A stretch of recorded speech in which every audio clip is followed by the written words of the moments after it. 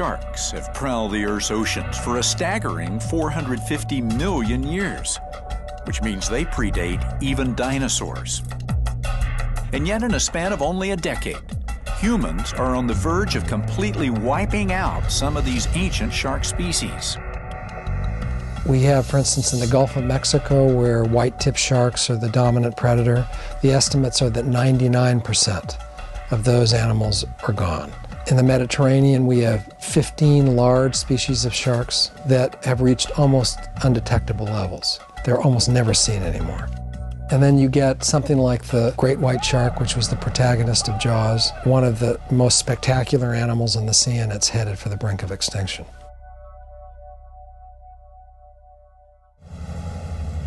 The main culprit, according to conservationists, overfishing.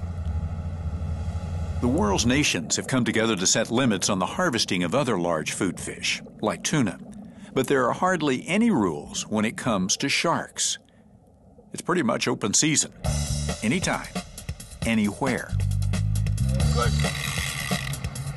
In America, shark tournaments are popular pastimes, with recreational fishermen vying for the largest catch of the day.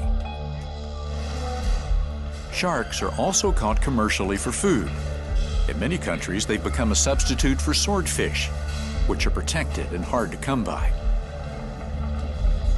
In addition, an extract from shark liver oil, known as squalene, is used in beauty products, believed to keep skin looking young and healthy. But the most valuable part of a shark is its distinctive fin. They are considered a delicacy in Asia, cooked up and served in soup. As China's economy surges, so does the demand for shark fin soup from a new generation with money to spend. The demand for sharks is fueled by the increasing demand for fins for the Asian delicacy shark fin soup. But in addition to that, there is also an increasing demand for shark meat as other traditionally fished species are dwindling and collapsing. There are few, if any, fishing limits on sharks and therefore it is easier for the fishermen to target sharks and take as many as they want.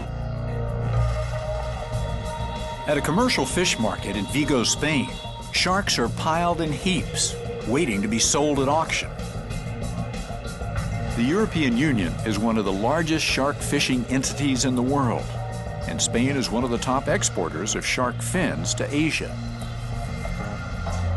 Fishermen say sharks have become vital to their economic survival. With swordfish, there is a limit that cannot be passed. Whereas with sharks, that's not the case. Conservationists want to tackle the demand for shark fins in Asia, but they also want to tighten supplies here at the source. They need to be managed. Uh, here in Europe, we need to manage them under the Common Fisheries Policy, which means to establish fishing quotas. Those are catch limits. Many countries already ban a practice known as shark finning, where fins are cut off at sea and the fish dumped back into the ocean to die.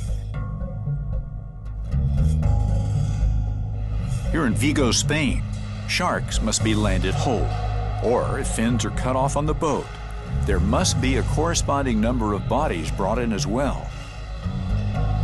The conservationists say the finning bans can easily be violated by rogue fishermen. Europe could strengthen the European finning regulation by only allowing sharks to be landed with their fins naturally attached. Europe could help by establishing a long overdue management plan for sharks. Sharks are slow to mature and slow to reproduce. They bear their young live, and in some cases, only a few pups every couple of years. Decimated populations can't recover quickly. Some conservationists fear they may not be able to recover at all. The loss is having a ripple effect. Enrique Sala is a National Geographic emerging explorer with a passion for protecting coral reefs. He's increasingly concerned by what he doesn't see sharks. These apex predators are at the top of a delicately balanced marine ecosystem. A shocking new report has indicated that scallop beds along the U.S. eastern seaboard have been destroyed because now there aren't enough sharks to keep the creatures that eat scallops in check. Marine ecosystems are like a machine composed of thousands of different species, thousands of different parts that have evolved during hundreds of thousands or millions of years to work very efficiently. If one of these parts is missing, the machine is going to malfunction.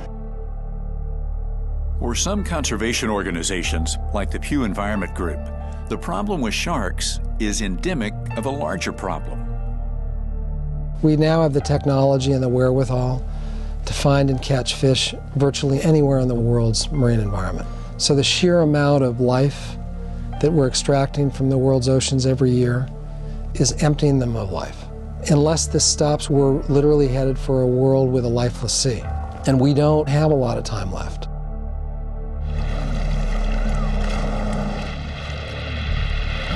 Their fierce skills have allowed sharks to survive for millions upon millions of years.